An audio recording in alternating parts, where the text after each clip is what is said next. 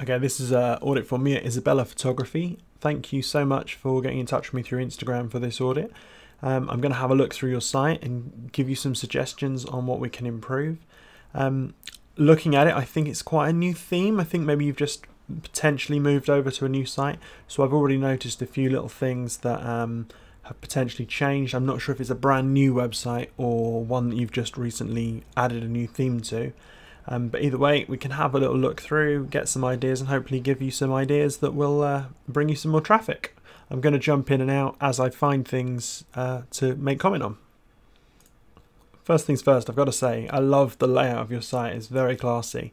Um, I see an awful lot of sites, and there's so much similarities between a lot of the designs. Uh, this is striking. I love the, the big picture and I love the big text. So that's that's a great. I think you're onto a winner there. Okay, so the first thing I'm going to bring up is there's just a lack of text on the site as a whole.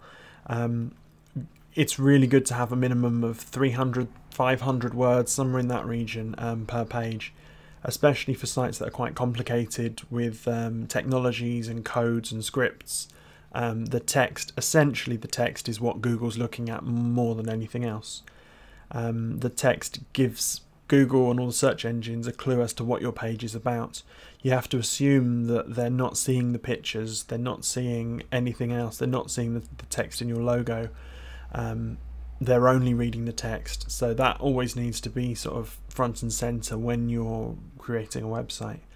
Um, one of the most important elements of any page is uh, the title tags on your page, this this for example is a title tag, and it's what's known as an H2, as I can see from the code. Um, the most valuable title tag is an H1. I believe this is a Squarespace site from looking through the code. I'm not sure how much um, opportunity they give you for managing your title tags, um, but I'd certainly like to see more H1 use if possible. Um, you should only have one per page, and they should be unique to that page. Um, but if you can, if you're aiming for like a location or a specific area, so I know you're in New York, you might be aiming for New York weddings, New York wedding photographer, something like that. It would be awesome if on your page, on your your wedding page, for example, if you had an H1 tag that said New York weddings or New York wedding photographer, just to give a context to to what you're looking at. Um, the other thing I've noticed from the code is the images, the, the names of the images. I think this might be something Squarespace does um, because I, I believe it's hosting it from Squarespace, uh, Squarespace's um, content delivery network. But often it's good practice to have the, the file names relevant and descriptive as to what's what the image contains. So your file names might be something like New York wedding photographer or New York portrait photographer or New York headshot photographer. Um, but looking at Squarespace, I'm not entirely sure if that's something that you have any control over. But other than that, I'm liking what I'm seeing. One thing that I'm noticing is there's a lack of blog. That's the only thing that I would, I always suggest to my customers that having a blog is a great thing because sites that are regularly updated and are producing new content regularly are always looked upon more favorably by Google and always rank better. Um, so if you were able to have a blog on your site in some way, that would also solve your problem about not having a lot of text because you'd have a very clear, obvious format of which you could be putting your blog posts up and you could be putting your text up. So you could be then using your blog to target potentially different wedding venues, or different styles of photography or locations for portraits, um, anything depending on what you're aiming for. Looking at your individual pages, um, the URLs are really good. The shorter the URL, the better. So you've got your miaisabellaphotography.com forward slash wedding. This is really good. Um, you might want to have something like forward slash wedding hyphen photographer or New York hyphen wedding hyphen photographer because um, the URL is a bit of a ranking factor. It's not as much as it once was, um, but it's still good to have that in there.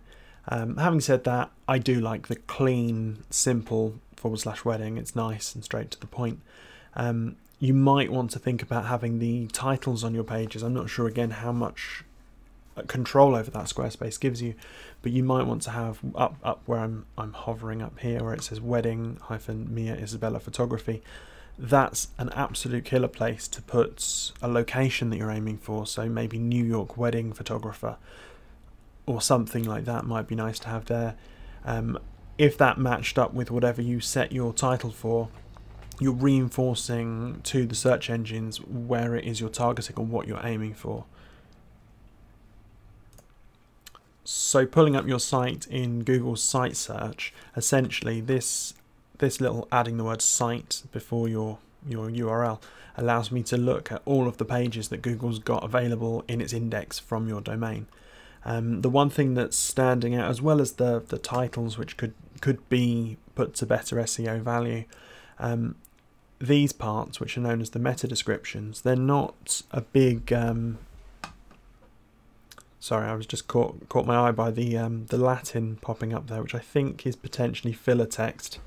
Um, never mind looking at the meta descriptions, they're not so much a ranking factor that you need to worry about anymore, but they are um, something that encourages people to click through to your site when they, they stumble upon you in the results, in the search results. So it's almost like starting the conversation with the person searching before they've actually landed on your website. So they're a really good thing to increase your click through rate, as it's known. Um, and click through rate the amount of time someone actually clicks on your result is a ranking factor and is something Google will consider. So um, a lot of your pages, it seems to just be grabbing content from the main body of the text. Um, I think it's doing it for most of them. So if you've got control over that with with Squarespace, that might be um, something you want to consider. Google's also suggesting trying Search Console at the top, which potentially implies that Google Search Console isn't uh, installed on your your domain. Um, that combined with Google Analytics are two really useful tools for understanding how Google is seeing your site and also how people are interacting with your site. So if they're not installed or set up, they're certainly something that um, we should look into doing. So now looking at your site in Ahrefs, which is an SEO tool, um, it basically holds a lot of information on your site and how your site's progressing and growing. Um, the one thing that stands out to me, um, and it's something I've seen quite a lot with other audits I've performed, is uh, the number of backlinks um, that you've got. They're not particularly high. Um, backlinks are like a vote of confidence from from people that give you them to Google to say that you're a valuable site and that you're an authority and trustworthy. Uh, great places to get backlinks are like wedding blogs. If you're if you're submitting weddings to wedding blogs, you often get a link back to your site. Um, basically you've only got a handful of them at the moment from six separate domains. Um, the more of these you can get, the better. Looking at your actual backlinks, you've got a few different things, people linking back to you it's really great to have this kind of thing. And I think headshots, particularly, are going to be a great way to generate them because people are going to use them. If they're then going to link back to you, that's going to really boost your SEO. Um, sticking with Ahrefs while I'm in here, um, looking at the the pages, there there's not a lot of mention of your sites before 2014, if I'm correct. Uh, and then there was nothing for uh, 2016, and then it's gradually started growing. So this would indicate to me that potentially your site's reasonably new, or potentially it was inactive for a little while, and then it's it started growing since maybe late 2016, maybe 2017. It's hard to tell exactly. Um,